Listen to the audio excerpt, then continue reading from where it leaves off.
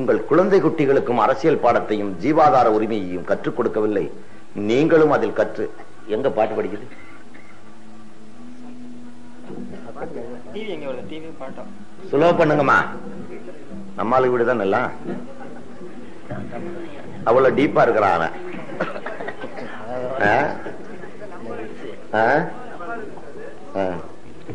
சரி யாரா இருந்தா கொஞ்ச நேரம் நிறுத்துங்க. அப்புறம் சௌரியமா கேளுங்க. ஆச்சுங்களா?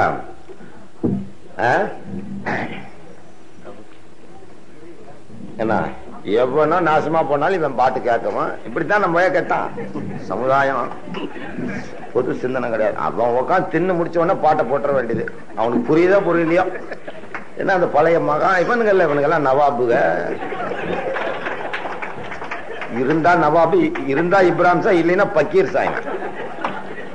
புத்தியை மாத்த முடியல பாரு. ஆக அந்த ஜீவாதார உரிமைகளை பெரியோர்களே நீங்கள் உங்கள் பிள்ளைகளுக்கும்